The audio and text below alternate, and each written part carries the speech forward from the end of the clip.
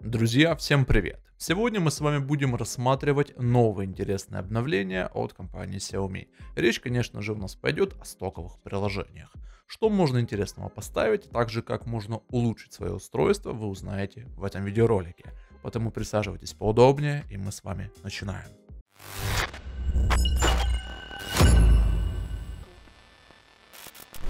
Что же, подопытным у нас выступает Xiaomi 13T. Кстати говоря, решил ради интереса поиграться подменой между HyperOS. Ну, как бы работает тема, но есть свои определенные моменты. Поэтому, если вам эта вся тема будет интересна, дайте знать об этом в комментариях. Возможно, отдельное видео на эту тему выйдет. О чем мы с вами сегодня говорим? Конечно же, это новые обновления для стоковых приложений.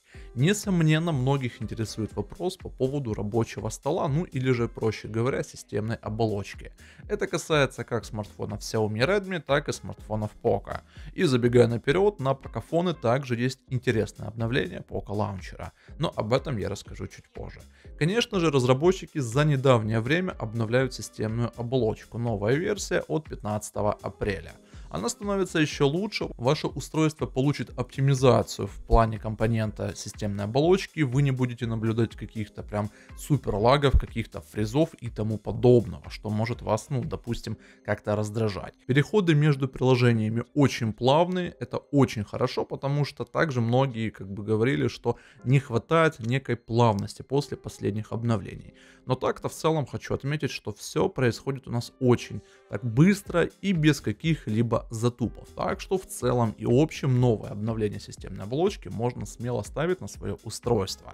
Если у вас более такого высокого среднего сегмента устройства, там предфлагман и флагман соответственно, напоминаю вам о том, что можно обновить рабочий стол и получить поиск на рабочем столе. Это все активируется в настройках, ничего тут сложного такого нет.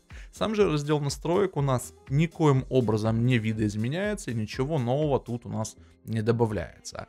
Кроме того, я хотел бы еще сделать определенный акцент на том, что при взаимодействии там, приложения темы, ленты виджетов и рабочего стола мы сможем активировать те самые виджеты на рабочем столе.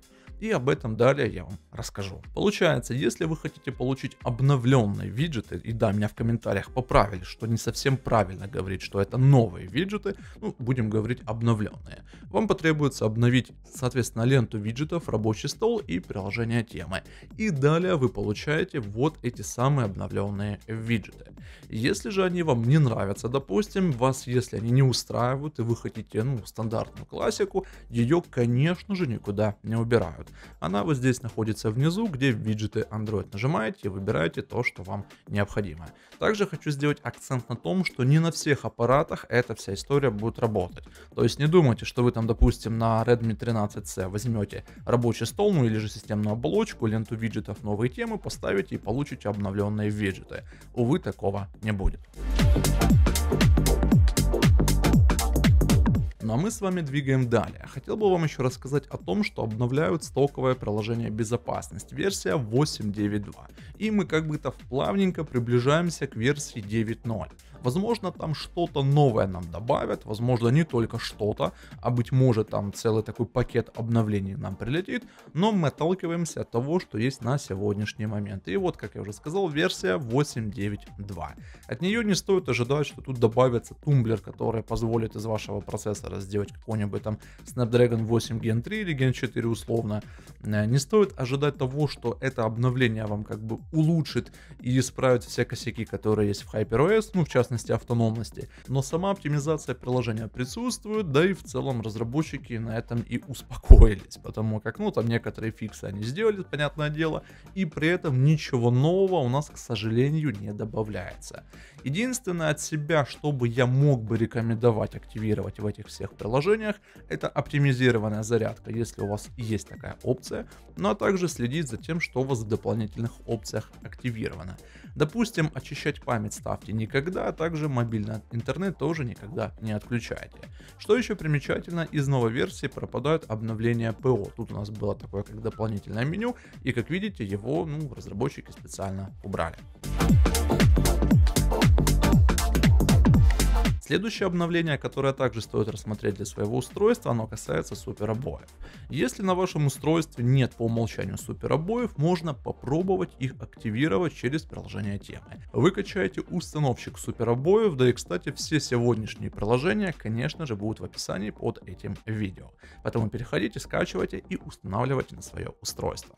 Так вот, вы когда получается установили этот активатор суперобоев, далее заходите в темы, профиль и вверху нажимаете обои. И что примечательно, MTK Dimensity 8200 Ultra поддерживает суперобои, хотя где-то я читал такую информацию, что ну не будет он это поддерживать. Но как вы видите, что все локации у меня доступны и включая ту самую локацию Луна, о которой уже рассказывалось, показывалось, ну и в общем, если у вас AMOLED устройство с там топовым процессором, то вы вот можете спокойно через темы все это активировать. Если у вас по умолчанию нет суперобоев, то вы можете всю эту историю провернуть с помощью Google обоев. Да, как бы немножечко костыли, но что поделать. Еще у нас обновляют приложения такие, как заметки, ну я на них особо останавливаться не буду, просто ну, обычное зарядное обновление, которое просто повышает циферки, а также выполняет оптимизацию приложения.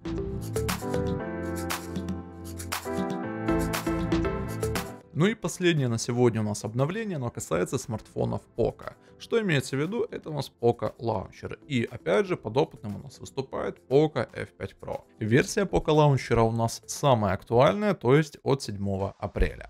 В целом устройство работает очень даже, тоже я каких-то затупов, фризов и чего-то подобного не замечал, ну и в целом я вам также могу рекомендовать поставить на любое поко устройство. Из таких особенностей, что я мог бы отметить, это то, что тут у нас есть новые виджеты, ну как новые, обновленные, ну вы в общем меня поняли.